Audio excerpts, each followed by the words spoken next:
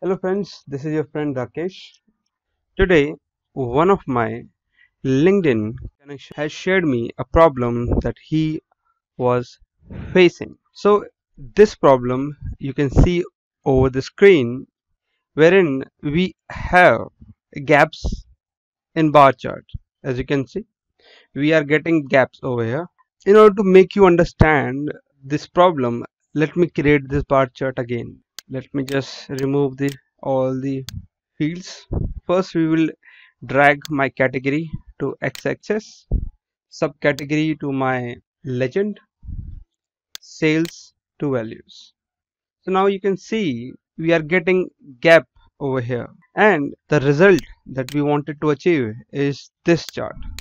Here you can see I have no gap. So before giving you the solution, let me show you why we are getting gap in between bars. So first we go to click on the ellipsis and then show as a table. So here, if I show you the technology portion, I, I mean the technology line, after accessories, we are getting appliances, then we are getting art.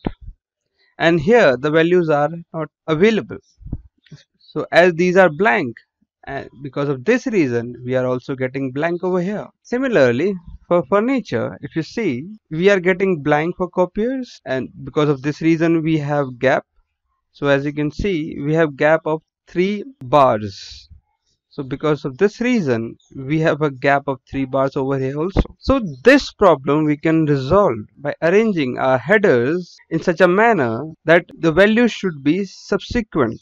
I mean there should not be any blank. To resolve this problem, we have to sort our subcategories. So I have created a simple sorting table in Excel and I will simply import this Power BI I have already done let me take you to the uh, power query window wherein I will show you that I have imported so this is that's the sorting table that I have imported so here on the first we have subcategories and the indexing. So we have to first let's create a relationship between subcategory. So relationship is created. So here we need to make sure that the sorting of the subcategory should be as per the index.